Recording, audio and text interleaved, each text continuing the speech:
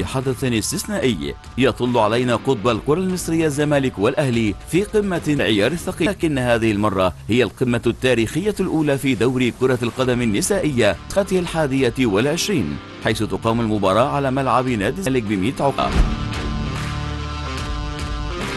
مشاركة تعد تاريخية للأهلي والزمالك في دوري كرة القدم النسائية وأول ظهور للقطبين في مسابقة بعد شروط الاتحاد الأفريقي للحصول رخصة الأندية. من أجل المشاركة في الزمالك صاحب الأرض يضخم داعما صفوفه بيزيد عن 15 صفقة. كان آخرها التعاقد حبيبة محمد فضلا عن ضم أسماء أخرى رزها ميرال لاعبة منتخب فلسطين وفدوى عصام القادمة من الهلال السعودي.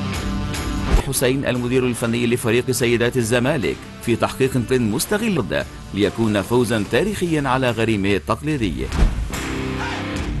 في المقابل كانت الاستعدادات في النادي الأهلي على قدم وساق حيث تم التعاقد مع العديد من الصفقات في جميع المراكز وكان أبرزها ثلاثي بيراميدز نورا خالد وندى خالد وحبيبة عمر إلى ألكسندرا المدافعة الصربية والمهاجرية.